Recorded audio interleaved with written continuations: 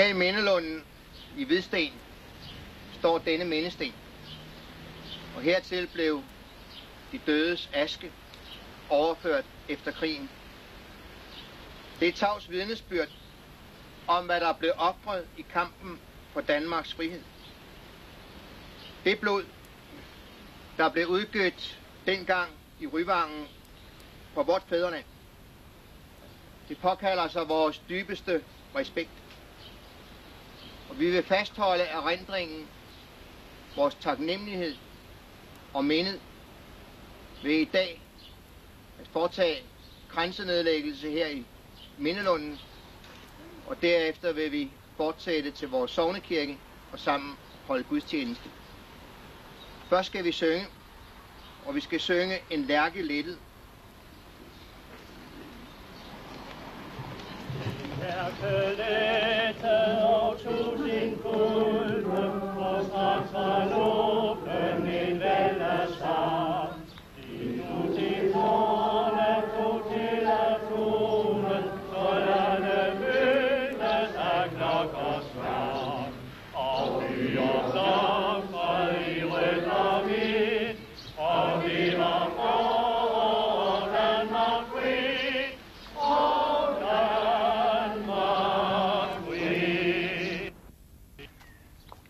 Første krans er fra Spændtrup Gasum Menighedsråd.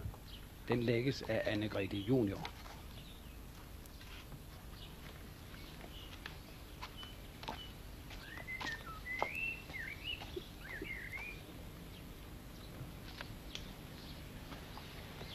Derefter lægger Ejner Hultin Anders en krans fra Landsforeningen Gestapofangerne.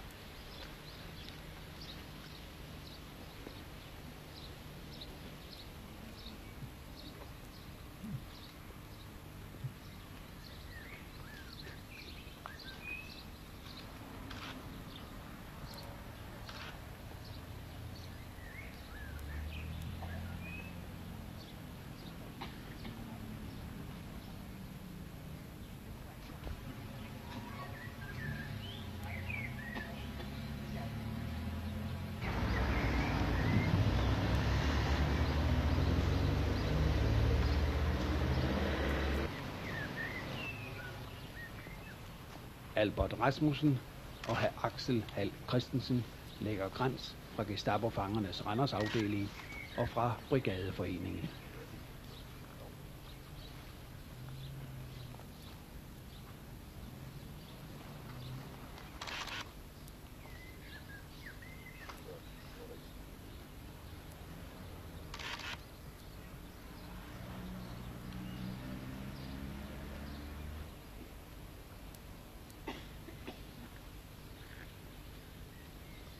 For Gestapo-fangernes Aarhus afdeling lægges krans af Kristen Carstensen.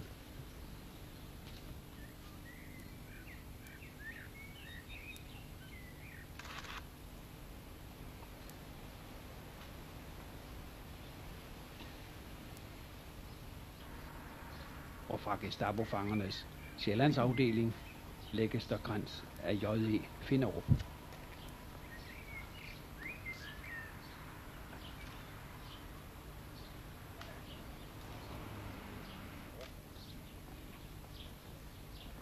Major Paul Lauritsen lægger krans fra hjemmeværnsregion 2, Viborg.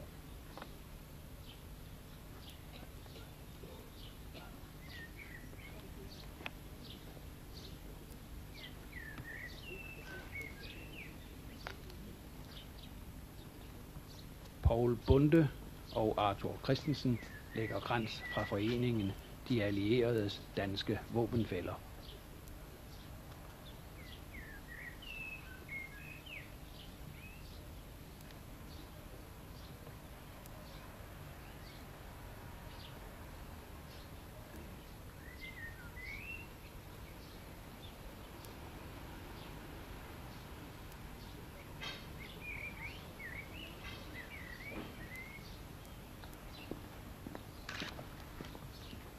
For Jyske Ingeniørregiment lægges krans af major P.V.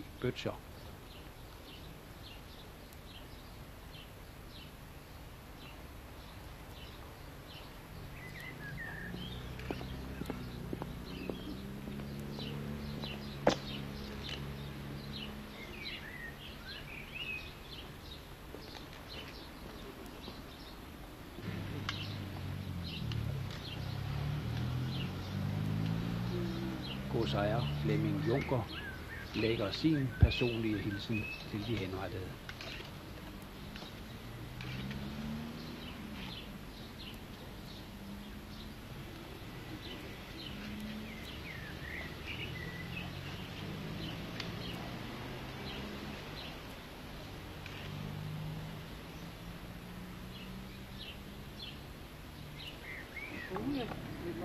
Sidste krans er fra Bohus Kommune.